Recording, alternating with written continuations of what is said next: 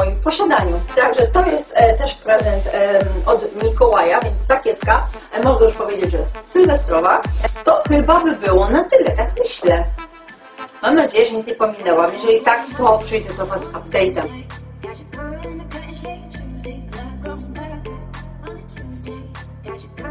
Są cipki. No i przechodzimy do Was z challenge'em, jaki ma tytuł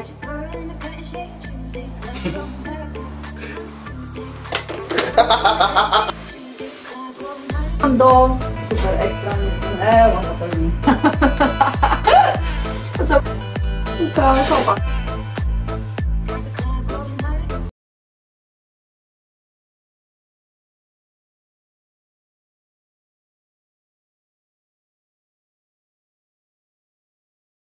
Hej, moi kochani, moi kochane, witam Was bardzo, bardzo gorąco i zapraszam Was po raz trzeci chyba w tym wydaniu na rozmowy kontrolowane. E, słuchajcie, jaki podejmiemy dzisiaj temat? E, skłoniły mnie pewne przemyślenia, skłoniły mnie pewne doświadczenia. Będziemy mówić dzisiaj, znaczy będziemy mówić, ja będę Wam mówić to, co ja myślę, moje spostrzeżenia, przemyślenia, i jakieś może małe porady, nie wiem, z doświadczenia wzięte, e, na temat właśnie zazdrości. Pierwsza rzecz, jaką zrobię, jest to, e, to, że przeczytam Wam e, gotową definicję słowa zazdrość. Wiadomo, że nie będę układać Wam moimi słowami, bo ja powiem to jednym zdaniem.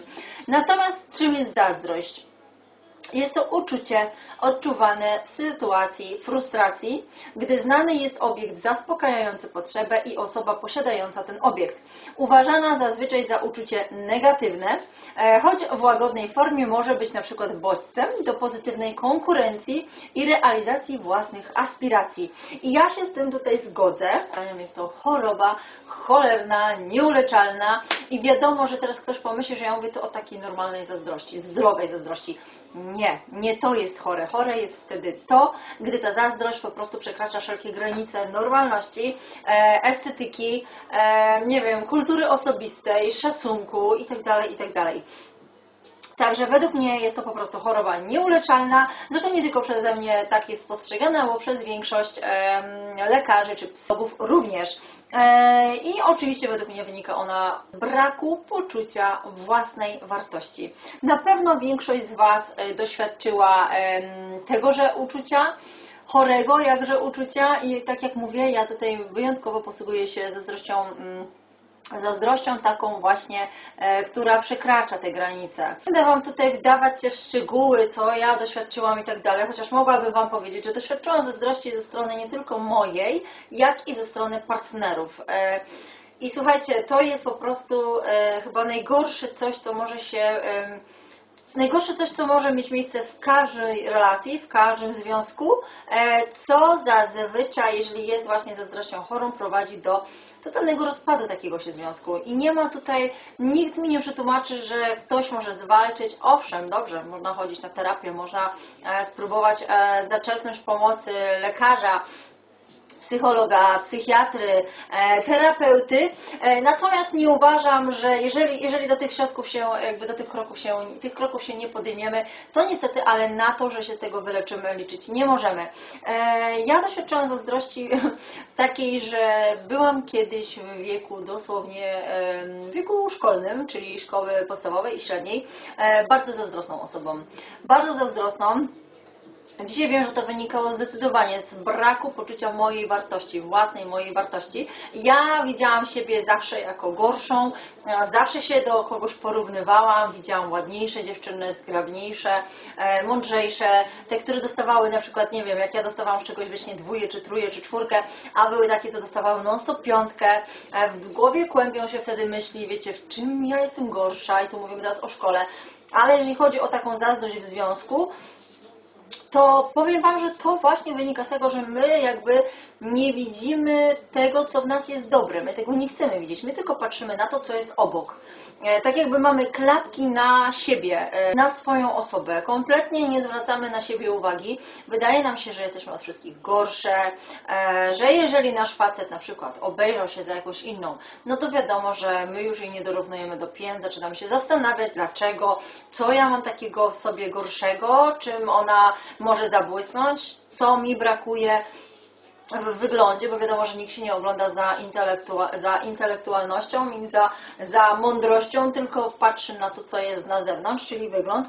Mm, Więc zastanawiamy się wtedy właśnie, co jest we mnie nie tak. Najgorzej jest, kiedy bywa, bywa tak, że ktoś ogląda się i e, za kimś, kto jest od nas gorszy i nawet to nie daje nam poczucia, słuchajcie, takiej wyższości, bo jeżeli się ogląda, to kurde znaczy, że tam jest coś lepszego. A my teraz patrzymy na ten obiekt i my wiemy i widzimy, że jest to gorsze. I powiem Wam, że i tak się zdarzało. E, ja sobie wypisałam, słuchajcie, nie będę właśnie mówię opowiadać różnych historii, bo nie chciałabym wygrzebywać też ze swojego życia, ale byłam osobą bardzo zazdrosną, byłam myślę chorobliwie zazdrosną i właśnie robiłam te wszystkie błędy. em, o których za chwilę Wam właśnie powiem, czyli jak, co zrobić, żeby tych błędów nie popełniać, co zrobić, żeby nie być tak zazdrosnym, co zrobić, żeby z tą zazdrością jakoś sobie zacząć radzić, żeby jakoś, e, jakoś to załagodzić, żeby jakoś zrobić, żeby, żeby nie stracić osoby, którą kochamy i dla której jesteśmy w stanie zrobić bardzo wiele, tylko dlatego, że jesteśmy o nią zazdrośni. A najgorsze jest, gdy jesteśmy zazdrośni bezpodstawnie. To już jest w ogóle najgorsze z najgorszych. Ja sobie wypisałam, słuchajcie, w punktach, już Wam pokazuję, mam tutaj oczywiście notatki. E, i wypisałam sobie w punktach, co zrobić, jak to zniwelować, jak temu zapobiec delikatnie, e, jak po prostu zapanować nad zazdrością. Mm, Jako pierwszy podpunkt e, mam wypisane e, poznaj swoją wartość właśnie. Przede wszystkim, co to znaczy? Słuchajcie, przede wszystkim nie porównuj siebie nigdy do innych.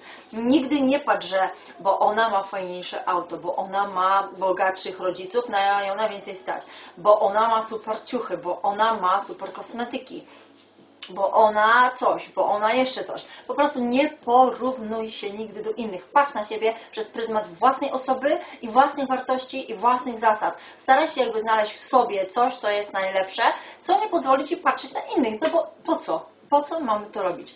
Zawsze, słuchajcie, zawsze, choćby nie wiem co, zawsze będzie ktoś od nas lepszy, mądrzejszy, ładniejszy, bogatszy.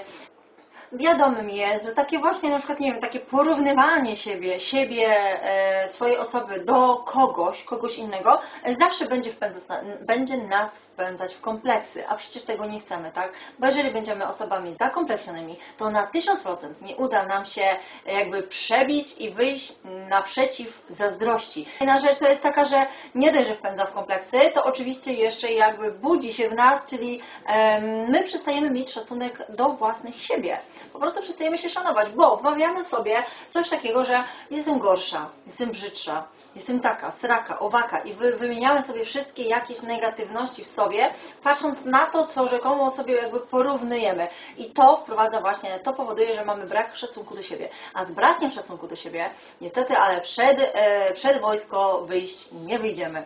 E, drugi sposób, jak zapanować, e, jest to wiara w siebie, czyli uwierz, po prostu uwierz w siebie, uwierz w swoją moc, uwierz w swoje możliwości. Na czym to będzie polegać? Na tym, że jeżeli chcesz uwierzyć w siebie, przede wszystkim zaakceptuj siebie taką, jaką jesteś. Czyli zacznij dostrzegać w sobie jakieś same dobre strony, dobre cechy. Możesz tutaj porównać siebie z kimś, kto właśnie jest od Ciebie gorszy i wtedy możesz sobie jakby no, wypośrodkować i powiedzieć, kurczę, taka zołza, ja jestem taką dobrą osobą, a na przykład mam gorzej, tak? Także przede wszystkim zaakceptować siebie takim, jakim się jest. Akceptacja własnego siebie po prostu to jest podstawa. Zaakceptowanie siebie taką, jaką jesteś, jaką Cię Bóg stworzył. Nie wytykaj, nie pokazuj sobie, jakie Ty nie masz tam kompleksy. Nie wytykajmy sobie tych błędów, kompleksów i jakichś takich niedoskonałości. E, kolejna rzecz to jest pracuj nad poprawą wyglądu, czyli jeżeli uważasz, że jakaś dziewczyna jest na przykład od Ciebie ładniejsza, pod względem takim, że na przykład, nie wiem, no ma jędrną pupę, ma fajny biust, to staraj się stawać tak, wypracować to, żeby dorównać w swojej głowie oczywiście, chociaż nie przewyższać kogoś, bo tak się też nie da i to też jest złe, ale żeby y, udoskonalać siebie. Coś Ci się wydaje, że ktoś wygląda lepiej, pracuj nad wyglądem, ćwicz. Pójść na siłownię, zrób coś dla siebie, przejść na jakąś dietę, jeżeli uważasz, że jesteś na przykład za gruba, bo twój facet ogląda się na przykład za szczupłymi, to po prostu zmień siebie, zrób coś, żeby się temu facetowi też spodobać. Uczy się wszystkich przypadków, bo bardzo wiele w zazdrości zależy, mm, w zazdrości zależy od tej drugiej strony, bo często jest tak, że ktoś daje nam powody do zazdrości, a najgorzej jest, gdy tych powodów nie mamy, a jesteśmy zazdrośni. I to ta wersja jest jakby jeszcze gorsza. Ale wróćmy, czyli poprawiaj swój wygląd, ćwicz, dieta. E, Jeżeli jakaś dziewczyna uważa, że się fajnie ubiera, idź, kup sobie jakąś nową sukienkę, kup sobie nowe szpilki, kup sobie w ogóle szpilki, umaluj się. Jeżeli uważasz, że patrzy się za jakimiś, które się malują, to też się umaluj. Po prostu zrób coś, żeby zmienić siebie, żeby czuć się bardziej dowartościowaną, bo jak się poczujesz bardziej dowartościowana, to i twój facet też to zauważy i na pewno też to powinno gdzieś tam troszeczkę jakby naprawić tą relację między Wami i powinno to zniwelować albo bynajmniej jakoś zminimalizować to, że on się będzie na przykład oglądał za innymi. Przede wszystkim przestań patrzeć na inne dziewczyny jak na jakieś Twoje potencjalne rywalki. Nie patrz na kogoś e, pod, przez ten pryzmat, że że ty z kimś masz rywalizować, bo to jest też chore, to jest bardzo chore. Nigdy nie próbujcie na siłę e, siebie dopasowywać i siebie zmieniać tylko po to, żeby dorównać tak strasznie też osobie, za którą wam, wasz facet się ogląda, bo często i gęsto jest tak, słuchajcie, bynajmniej ja mogę to powiedzieć o sobie, że ja bym w życiu nie chciała być takim typem osoby, za którą na przykład mój facet się obejrzał. A, czyli trzeci tutaj mój podpunkt, jak zapanować nad zazdrością. Żyj życiem własnym. Żyj swoim życiem. Przede wszystkim żyj swoim życiem, czyli realizuj siebie. Wszystkim znajdź coś dla siebie. Znajdź coś, w czym będziesz czuła się dobrze, w czym będziesz czuła się spełniona i co sprawi, że nie będziesz szukać dziury w całym, jak chodzić, nie będziesz wyszukiwać, bo często jest też tak, że coś sobie wyszukujemy, że nie zawsze jest tak, jak my to widzimy. Czasami my widzimy na przykład, że kurczę nie, no bo na przykład nasz partner nie odpisuje nam na przykład na wiadomość już od godziny, to już mamy w głowie jakieś urojenia typu, no tak, pewnie tam sobie z jakąś wypisuje, albo pewnie w pracy, jeżeli wiemy, że pracuje z jakimiś innymi kobietami, to pewnie no tak, bo przecież e, pewnie może pije kawę z jakąś tam e, na przykład, nie wiem, Krystyną z gazowni, wiecie o co chodzi. Także... Próbujmy znaleźć jakieś e, zajęcie, które zajmie nas, nasz umysł, które nie pozwoli, e, tak zwany młoteczek, żeby wybić nam wszystkie niepotrzebne i złe jakieś domysły z głowy, złe pomysły z głowy. Reszta jest też taka, żeby nie ograniczać partnera. Nie, I to się tyczy w dwie strony. Słuchajcie, każdy każdy potrzebuje trochę oddechu, każdy potrzebuje trochę powietrza, każdy potrzebuje trochę świeżości. I zamykanie, najczęściej zamykanie ludzi w klatce tylko dlatego, żeby, żeby spowodować takie poczucie, że o, jesteś mój, jesteś moja, to dla mnie jest głupotą, bo nikt nie jest czyjś, bo człowiek nie jest niczyją własnością. Lubię na przykład określenia, kiedy się słyszy, że facet mówi, bo ty jesteś moja. Co to znaczy? Nie jestem twoja, tylko jestem z tobą. Ty nie jesteś mój, tylko jesteś ze mną, ja jestem z Tobą. I takie pojęcie bardzo często właśnie jest tak źle, e, źle spostrzegane, bo bardzo wielu mężczyzn e, uważa, że że my możemy być ich własnościami właśnie, że jesteśmy na ich wyłączność i że wszystko po prostu ma być jakby pod nich. My mamy po prostu e, tak tańczyć, jak oni nam zagrają, a tak się nie da. Każdy potrzebuje swojej przestrzeni, każdy potrzebuje, słuchajcie, e, oddechu i świeżości. Nie da się żadnego człowieka w żadnej relacji zamknąć w klatce. To jest najgorsze, co może być, robić coś pod kogoś, robić coś dla kogoś i z myślą o kimś non-stop, tylko dlatego, że ktoś ma takie widzimisię, bo ktoś tego od nas wymaga. Nie. Pamiętajcie na, przede wszystkim, żeby być sobą i, i jeżeli Wy będziecie sobą i będziecie realizować siebie poprzez własne jakieś, e, nie wiem, poprzez jakąś własną hierarchię swoich tam wartości i wymagań, i potrzeb, to też będziecie tak spostrzegane i, i nie dajcie się zamknąć w klatce, bo to po prostu doprowadza tylko i wyłącznie do rozpadu każdych relacji. Kolejny mój podpunkt to jest samokrytyka, czy mniej dostrzec e, to, co jest złe, to, co robisz źle, staraj się to niwelować, staraj się nad tym pracować, próbuj to zmieniać, próbuj to udoskonalać. I przede wszystkim staraj się patrzeć obiektywnie, przede wszystkim obiektywnie na Wasz związek, jaki by on nie był. Staraj się, że to jest dowartościuj partnera, dowartościowuj partnera, partnerkę. Nie pozwól, żeby w związku pojawiło się coś takiego, że że jest stagnacja, że jest monotonia, że nic się nie dzieje, że często słyszę ja nawet e, z Waszych ust, że no bo on się już przestał starać, bo już nie zabiega, bo kiedyś zrobił mi kolację, a na kolacji to już z nim nie byłam wieki, e, bo pofarbowałam włosy, wróciłam z fryzjera, a, a on ani B, ani ma, ani kukuryku. Dowartościowy, czyli pielęgnuj, pielęgnuj to, na co pracujecie razem. Staraj się pokazać drugiej osobie, że Ci zależy, że jest dla Ciebie ważny, ważna, e, że ma ogromne znaczenie ta osoba w Waszym życiu. E, to jest na zasadzie, słuchajcie, jak kwiat, czyli pielęgnuj, podlewaj, podlewaj wasz związek i to jest, uwierzcie mi, to jest to samo co z kwiatem. Niepodlewany kwiat prędzej czy później zwiędnie. I tak jest związkiem. Jeżeli nie będziecie niczego e, wprowadzać nowego, jakiegoś powiewu powietrza, powiewu, nie wiem, jakiejś świeżości w wasz związek, to prędzej czy później też grozi rozpadowi, a jeżeli nie rozpadowi, to takiemu odwróceniu się od siebie, że będziecie już żyli ze sobą tylko i wyłącznie dlatego, bo bo, bo mamy dzieci, bo już jesteśmy za starzy, żeby się teraz rozchodzić i poznawać nowych i tak dalej, i tak dalej. Gorszym jest e, bycie z kimś nie dlatego, że się go kocha, e, tylko z takiego przyzwyczajenia. To jest najgorsze, co może być. Jeżeli się przestajecie kochać, jeżeli za, za, pojawia się taki moment w Waszym związku, że zaczynacie zadawać sobie pytanie, kurde, czy ja w ogóle go kocham? Albo e, poznajecie jakiegoś e, chłopaka, poznajecie kobietę e, i na przykład wydaje Wam się, że fajnie Wam się rozmawia, że patrzycie już na tą osobę inaczej niż na własnego partnera czy partnerkę. E, dostrzegacie, że, że ktoś jest fajniejszy, lepszy, że się czujecie obok tej osoby lepiej, to już też jest właśnie oznaka tego, że, że takiego czegoś takiej świeżości brakuje Wam właśnie koło Was, brakuje Wam w Waszych relacjach, w Waszym związku. A co do tego jest potrzebne? Rozmowa. Rozmowa, rozmowa będzie tutaj też wypisane w punkcie którymś, bo jest to strasznie istotny punkt w każdej relacji. Kolejny podpunkt, jaki mam, to jest, e, żebyśmy doceniali, czyli doceniaj to, co masz. E, szanuj, pielęgnuj i doceniaj przede wszystkim to, co masz, bo obejrzyj się dookoła i możesz bardzo szybko zauważyć, że inni mają o wiele gorzej niż ty.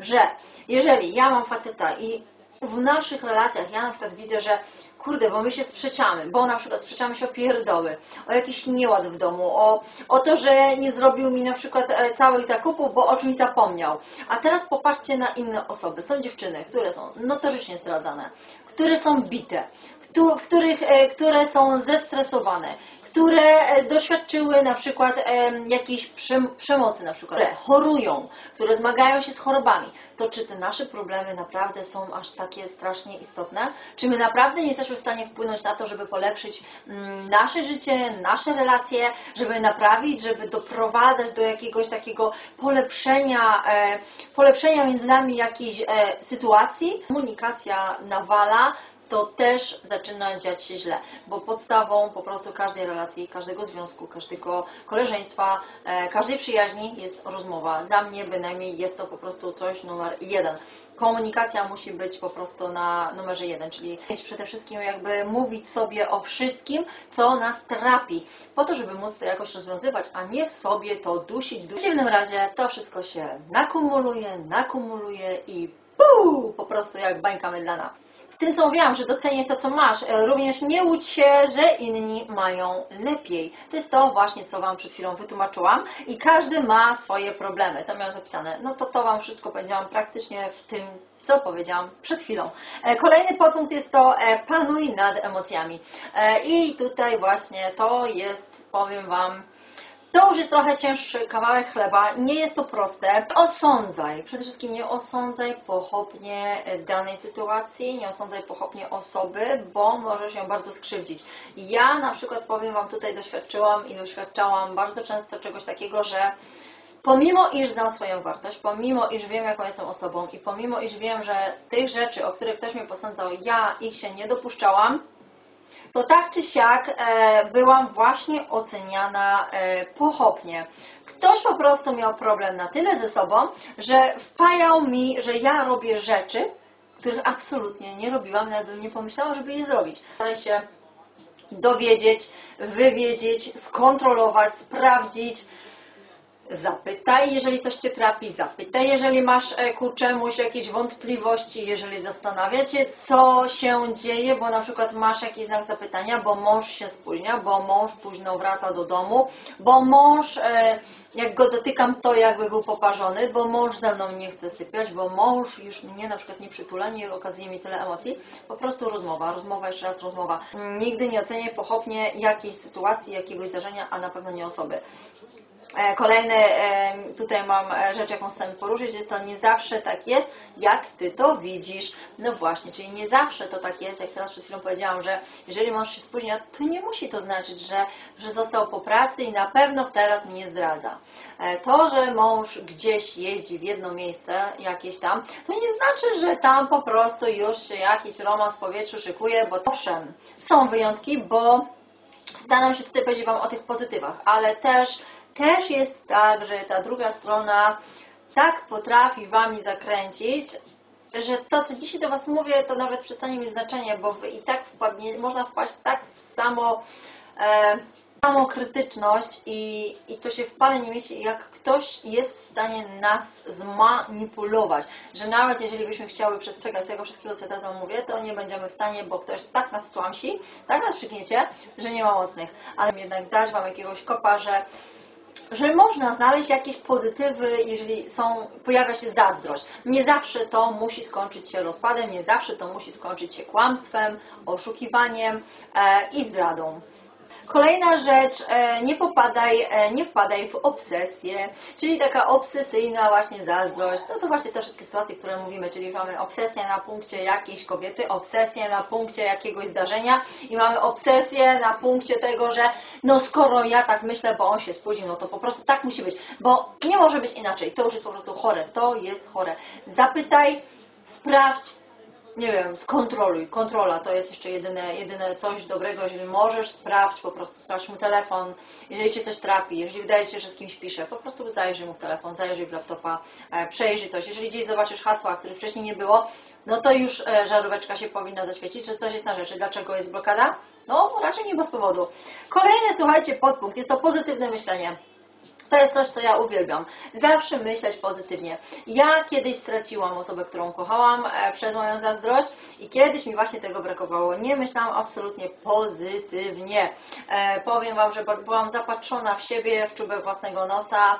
E, wydawało mi się chyba, że mogę wszystko i wydawało mi się, że, że ta osoba chyba jest tak za mną, że mogę zrobić nie wiadomo co a wszystko będzie mi wybaczone. A to tak nie działa, bo w miłości trzeba się poświęcać i w miłości trzeba em, dawać sobie porówno. Nie ma tak, że dostajecie więcej, a dajecie mniej, musi być porówno. Myślenie, słuchajcie, czyli zastępuj negatywy pozytywami, to jest bardzo, bardzo dobre. Wszystko co złe, zastępuj wszystkim e, co dobre.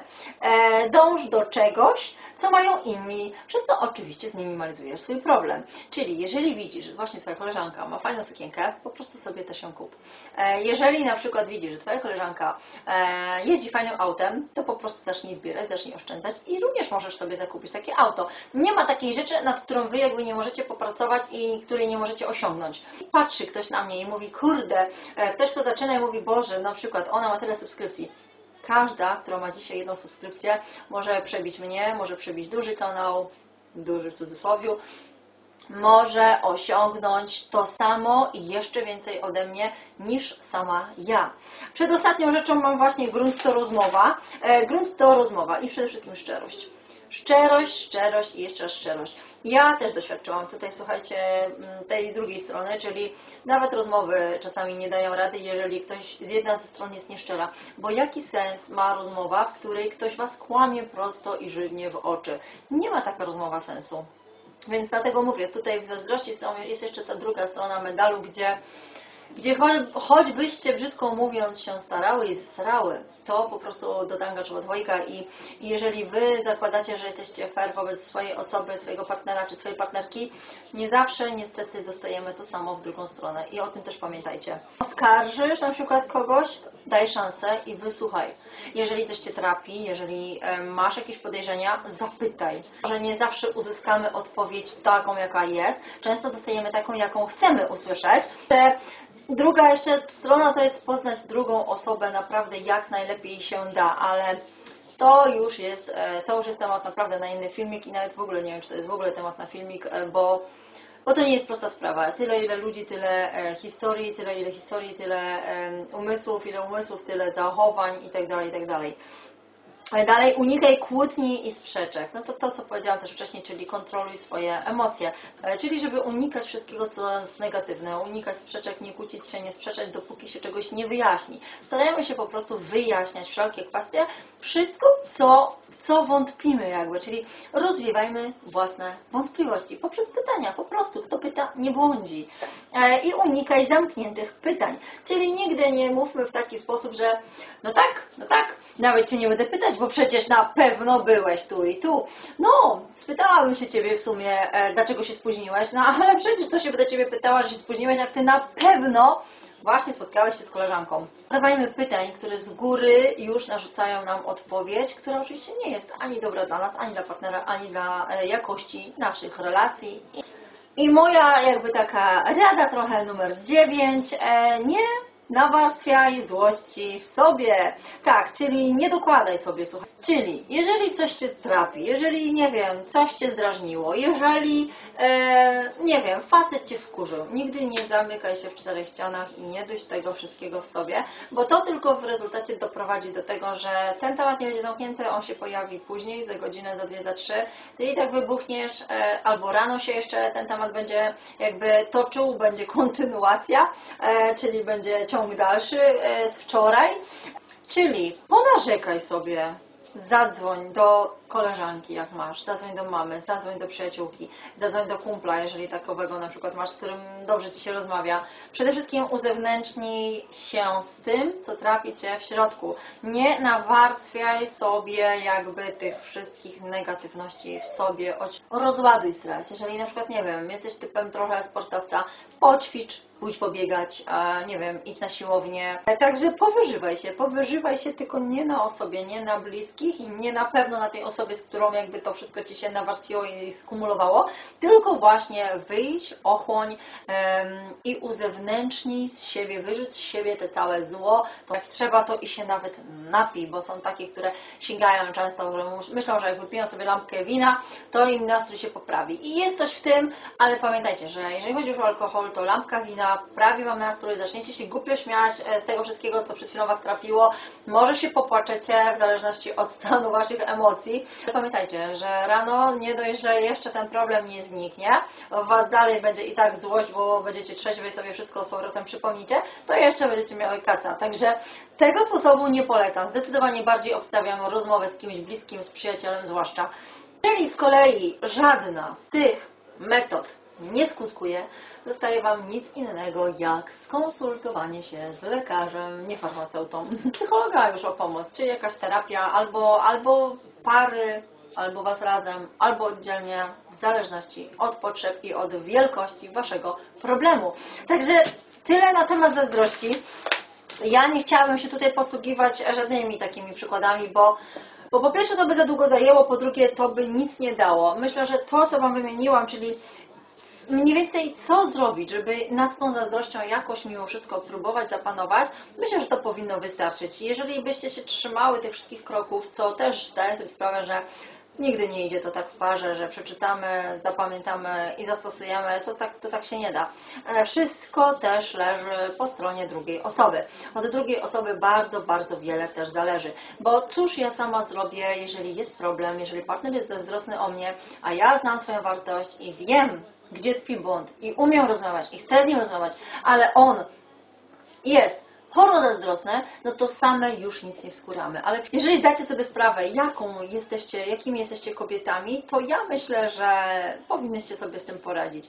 E, Nie ma kobiet idealnych, nie ma ludzi idealnych, nie ma charakterów idealnych e, i żadna kobieta z wyglądu też nie jest idealna, no chyba, że ta, którą się narysuje. E, I ja myślę, że chyba na wygląd tutaj nie będę w ogóle kładła nacisku, bo, bo ja się już nauczyłam w moim życiu, że nigdy nie powinno się skreślać kogoś tylko dlatego, że nie wygląda tak, jakbyśmy zawsze wymagali, żeby wyglądał. Nie zawsze facet musi być przystojny, żeby być kochany i dobry. A czasami ten przystojny nadaje się tylko po to, żeby postawić go dosłownie albo w okno, albo po prostu za e, naprawę i po prostu niech będzie, e, nie wiem, takim, wiecie, taką maskotką, po prostu maskotką, na którą po prostu fajnie się patrzy i nic poza tym, a w środku pustka.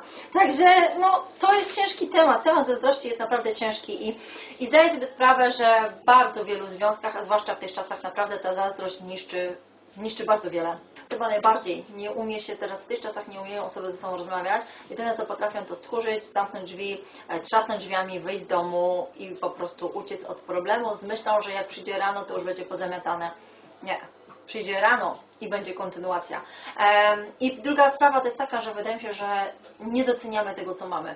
Nie widzimy, co ludzie inni mają w koło i przez to nie doceniamy tego, co my mamy i możemy mieć, i możemy zbudować, i możemy o coś zawalczyć. Tylko tak jak mówię, do tanga trzeba dwojga. Nie to jest prawda, że nie ma miłości bez zazdrości, natomiast każda chora, chorobliwa zazdrość, każdą miłość potrafi rozwalić. Także tym optymistycznym akcentem ja zakończę temat zazdrości. Nie wiem, czy tutaj mnie w ogóle zrozumiałyście. Nie wiem. Oczywiście czekam na Wasze komentarze. Jeżeli byście miały do mnie jakieś jeszcze tematy inne e, lub gdybyście chciały jeszcze jakieś, nie, albo może pytania mi zadawajcie podczas pytań. Ja też mogę zrobić rozmowy kontrolowane i po prostu odpowiadać jakby em, na Wasze pytania właśnie poprzez moje pogadanki. E, to oczywiście śmiało piszcie w komentarzach pod tym filmem.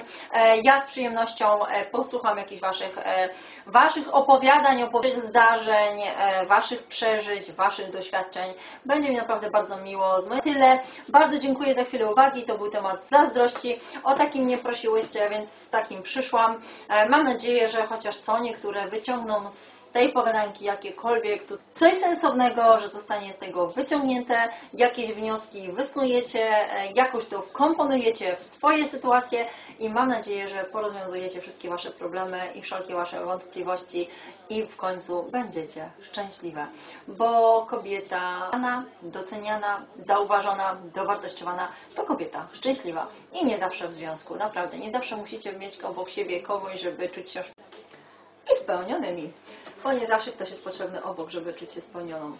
Dziękuję bardzo za uwagę, trzymajcie się cieplutko. Czasami pamiętajcie, że więcej poczucia własnej wartości dajecie Wy same sobie niż potrafi nie jeden facet Wam dać. Taka jest prawda. Dzięki wielkie, trzymajcie się cieplutko. Bye!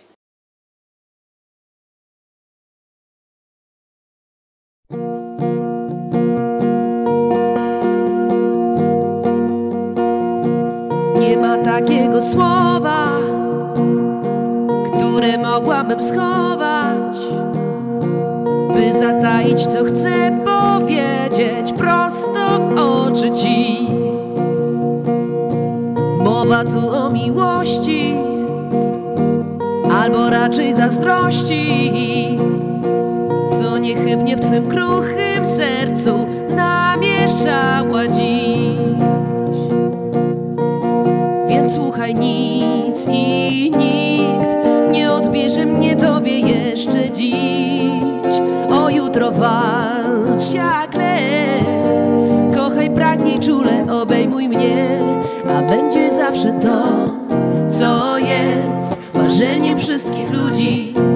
No wiesz, to co gaja ból i strach, to co głupcy chemią swą nieraz.